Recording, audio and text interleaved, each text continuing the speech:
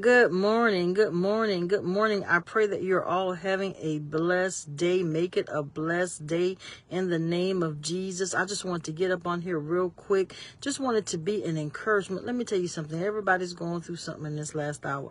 I'm going to say it again. Everybody's going through something in this last hour.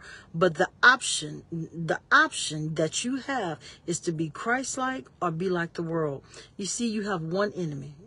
Yeah, the enemy uses people, but you have one enemy. And the enemy wants to make you are not godly.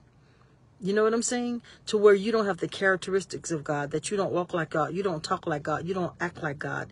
And it doesn't matter what people say or people do. What matters is how you respond. So God in this hour is saying, I need you to look like me. I need you to talk like me. I need you to walk like me, despite of how you feel, despite if you're wrong, despite if you're right. And that's where we at.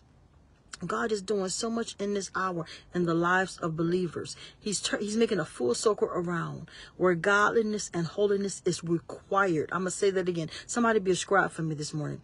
Where holiness and godliness is required. It's, it's no more. You, you can't do do the fence thing. You know how people straddle the fence. Well, I'm gonna be good on Sunday or Wednesday or Thursday until somebody make me mad.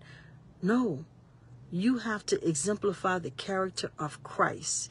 It is time to walk like it, talk like it, be like it, be strong. He said in Joshua 1 8, Have I not commanded you to be strong and of good courage? Then in verse 9, he says, This book of the law, you know how you get there? You meditate you get up in the morning god thank you for waking me up this morning get on your knees pray if you're able eh, to get on your knees if not still pray God, give me strength this day mentally, physically, spiritually, financially, emotionally.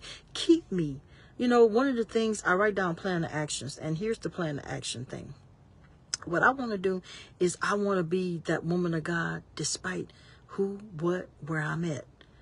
We this is 24/7. We don't get to get in character and get out of character despite of what's going on. And I had to learn that because everything's a process. So I pray in the name of Jesus that you have a blessed day today. I pray that you are strengthened. I pray that God bless you with wisdom and discernment. Use wisdom and discernment in this hour like never before. You have to because there is so much going on. The enemy is literally trying to take out people of God, and that's what's going on. But God said, I've come that you might have life and life more abundantly. God will bless you. God will keep you. God will strengthen you. God will correct you too as well. So God bless you. God keep you. This is Prophetess Deanna Dixon. I told y'all I was going to get back up on here and start doing ministry more heavily because, you know, that's pretty much, you know, God is rebuilding people. As God rebuilds, he instills. Somebody, somebody be a scribe. As he builds, he instills what he wants you to do, how he wants you to do it. So God bless you. God keep you. Y'all know what time it is. Roll our soldiers, for that is truly who we are. Be blessed, everyone.